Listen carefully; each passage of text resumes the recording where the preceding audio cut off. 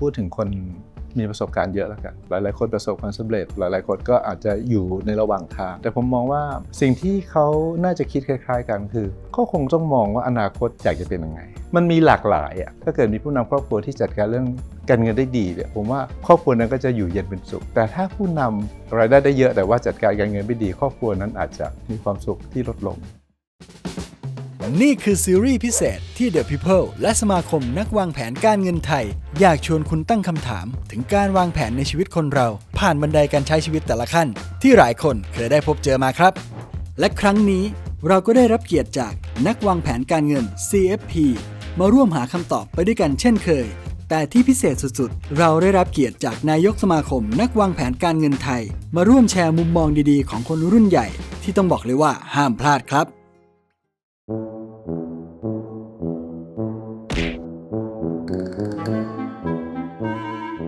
เหนื่อยตามเนื้องานเนาะลูกน้องดีก็ไม่ต้องเหนื่อย ส่วนมากก็เด็กๆมันจะฟังเราพูดเวลาเราสอนเราอะไรนะคะพี่ก็ไม่ได้จำจี้ คนเจเนอเรชันอย่างผมมันเป็นวัยแซนด์วิชครับมันจะมีข้างบนคือพ่อแม่ข้างล่างก็คือลูก ดังนั้นเราต้องกันค่าใช้จ่ายไว้ไม่ใช่เพื่อเผื่อเฉพาะตัวเองต้องเผื่อไปคนรอบข้าง แล้วก็ครอบครัวเราด้วย คนที่อายุประมาณสัก45 ถึง 50 กว่า 60 คนในกลุ่มนี้ก็ถือว่าเป็นคนที่มีบทบาทหน้าที่ทั้งในด้านการงาน แล้วก็ด้านครอบครัวค่อนข้างมากภาระก็จะเยอะทั้งเยอะแล้วก็ยุ่ง ก็ยังจำได้ว่าในช่วงที่อายุประมาณนี้นะครับ 45-50เนี่ยก็เป็นช่วงที่ทำงานกันหนักมากเลย ภาระหนักขึ้นเป้าหมายต่างๆเนี่ยก็ต้องเป็นคนที่รับผิดชอบ มันดูเหมือนว่าจะสบายขึ้น แต่จริงๆ แล้วเนี่ยภาระมันมากขึ้น ความเครียดมันมากขึ้น เพราะว่าหลาย ๆ อย่างเนี่ยถ้าเราไม่ได้ทำเองเนี่ยเราก็ต้องยอมรับว่าสิ่งที่เกิดขึ้นมันไม่ได้เป็นอย่างที่เราาดหวัง อันนี้ก็เป็นเรื่องบทบาทที่ต้องเปลี่ยนไป อาจจะต้องเน้นเรื่องคนเน้นเรื่องนโยบายเนี่ยมากกว่าการลงมือทำขณะเดียวกันคนในกลุ่มนี้ก็มีเรื่องคู่ขนานอีกเรื่องหนึ่งคือเรื่องครอบครัว เพราะฉะนั้นเรื่องที่ครอบครัวก็ต้องมีเรื่องที่ต้องรับมือจัดการเยอะเลย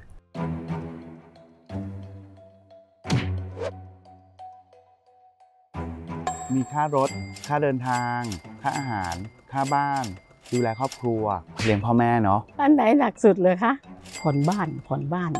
เศรษฐกิจมันไม่ค่อยดีอะนะอะไรมันก็แพงอะคุณน้อง ที่ผ่านมามันก็เหมือนกับโลกเราไม่ค่อยมั่นคงนะครับอย่างเช่นโควิดอย่างเงี้ยมันกระทบทั้งการเงินเพราะบางคนอาจจะตกงาน อย่างผมอย่างเงี้ยเงินส่วนหนึ่งมันหายไปเพราะโดนลดเงินเดือน ผมคงไม่ได้บอกว่าเราจะต้องกระเบียดเกษียณไม่ได้คิดอย่างนั้นแต่เพียงว่าจะใช้อะไรจะซื้ออะไรเนี่ยก็ต้องมีวิธีคิดที่มันเหมาะสม แต่โลกปัจจุบันมันกระตุ้นเรามากๆ ใช้เงินเนี่ยคือต้องออกไปนอกบ้านแล้วใช้เงิน แต่วันเนี้ย นั่งอยู่ที่บ้านก็เสียเงิน ถ้าอยู่ใช้จ่ายอย่างที่คนอยากให้อยู่ใช้ ผมใช้คำง่ายๆว่าอยู่เสร็จแน่ๆ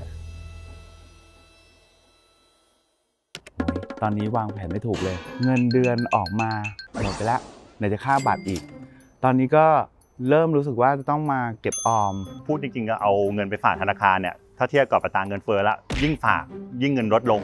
พอเรามีภาระเยอะเนี่ยแบกความคาดหวังไว้เยอะ แล้วก็สิ่งที่ต้องรับผิดชอบเยอะเนี่ยผมว่ายิ่งต้องรัดกลุ่ม เพราะสิ่งที่สำคัญก็คือในในโลกปัจจุบันเนี่ยมันมี 2 อย่างที่เกิดขึ้นคือโอกาสและความเสี่ยง สมัยก่อนมันไม่มีอะไรมากโอกาสก็ไม่มีอะไรมากก็แค่ฝากเงินที่นั่นที่นี่ แต่วันนี้โอกาสมันเยอะความเสี่ยงมันก็เยอะ โอกาสที่จะใช้จ่ายก็เยอะถ้าไม่ระวังเลยเนี่ยผมว่าถ้าพูดถึงหัวหน้าครอบครัวหัวหน้าครอบครัวใช้เงินผิดประเภท คนที่เดือดร้อนไม่ใช่เฉพาะเขาหัวหน้าครอบครัวใช้เงินไม่ดีนะลูกเดือดร้อนลูกเดือดร้อนเนี่ยมันไม่ใช่แค่ชีวิตลูกแค่ช่วงนั้นเนาะมันอาจจะหมายถึงชีวิตลูกในอนาคต ไม่ไม่ได้บอกใช้ต้องประหยัดสุดๆนะใช้อย่างฉลาดอันนี้คือสำคัญ เมื่อไหร่ก็ตามเราใช้ไปแล้วก็หมดไป แล้วไม่มีอะไรเป็นตัวสำรองเลยเนี่ยผมว่าอันตรายมาก ถ้าเราไม่มีแผนหรือไม่วางแผนการเงินเนี่ย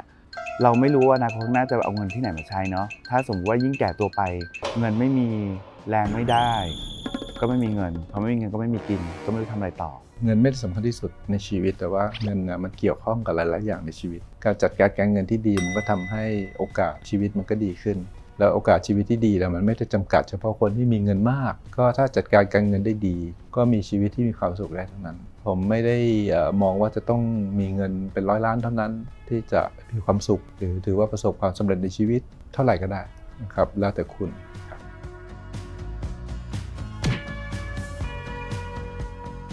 พี่เพิ่งคิดได้ มัวแต่กินแต่เที่ยว พอแก่อ้าว เขาจะจ้างเราไหมเนี่ย เราต้องเก็บเงินไว้เยอะมาก ต้องวางไว้ว่าถึงอายุ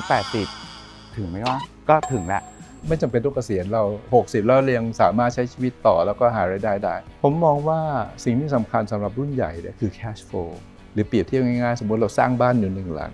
อ่ามี 2 บ้านนะครับให้เราเลือกบ้านหนึ่งมีบ่อน้ำใหญ่มากเลยบ่อหนึ่งซึ่งเราต้องใช้น้ำเนอะอีกบ้านหนึ่งเนี่ยไม่ได้มีบ่อน้ำใหญ่ แต่อยู่ใกล้ลำธาร เราควรจะเลือกบ้านไหนอยู่แล้วเรารู้สึกสบายกว่า หลายๆคนอาจบอกไม่ฉันอยากได้บ่อน้ำใหญ่เออก็ดีเพราะให้เท่าไหร่ก็ได้ แต่บางคนอาจจะบอกไม่ต้องการแบบนั้น ถ้าเกิดคนไปถึงตรงนั้นได้คืออิสรภาพตามสภาพของตัวเอง ผมคิดว่าเราน่าจะมีความสุขแบบนั้น ฉันอยากให้อยู่ใกล้ลำธารเพราะฉันรู้ว่าฉันจะมีน้ำมาทุกๆวัน คล้ายกันกับ asset มี asset เยอะดี แต่ผมคิดว่าสิ่งที่สำคัญสำหรับเราคือ cash flow ถ้าเรามี positive cash flow หรือมีเงินเข้ามาอยู่เรื่อยๆเนี่ยน่าจะดีและทำให้เรามีความสะดวกสบายในการใช้มาก เพราะฉะนั้นการลงทุนก็ควรจะลงทุนอะไรที่สามารถ generate cash flow